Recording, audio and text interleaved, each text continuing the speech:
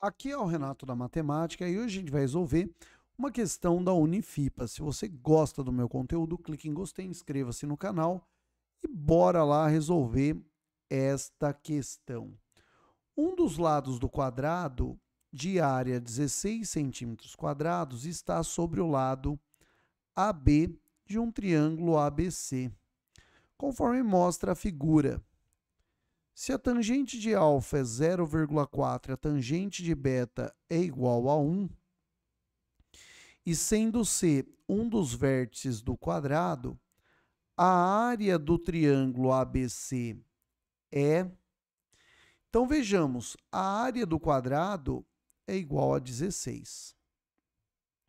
A área seria igual ao lado ao quadrado, que é igual a 16. Então, o lado é mais ou menos raiz de 16. Portanto, o lado será 4, pois não existe lado negativo, tá? Então, o lado é igual a 4. Então, quer dizer que este lado aqui vale 4. Segundo o enunciado, ele diz que a tangente de beta é igual a 1. O que é a tangente de beta?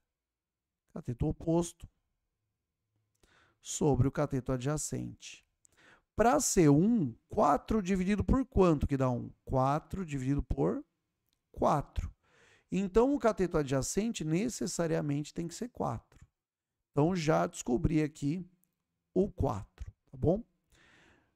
Tangente de alfa. Tangente de alfa é 0,4. O que, que é a tangente de alfa? Cateto oposto sobre cateto adjacente. Cateto oposto vale 4. E o cateto adjacente, nesse caso, seria esse cara aqui, né? o cateto adjacente vermelho.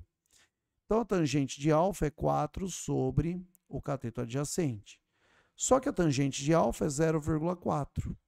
Então, 0,4 é 4 sobre o cateto adjacente. Então, 0,4 vezes o cateto adjacente é igual a 4.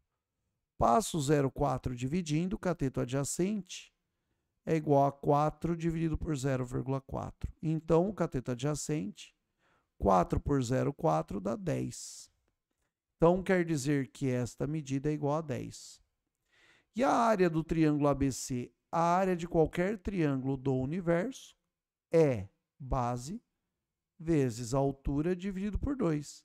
Nesse caso, a base é 14, porque 10 mais 4, 14.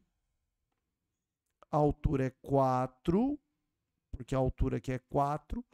Tudo isso dividido por 2. 4 por 2 dá 2, 2 vezes 14 dá 28. Essa seria a área do triângulo ABC.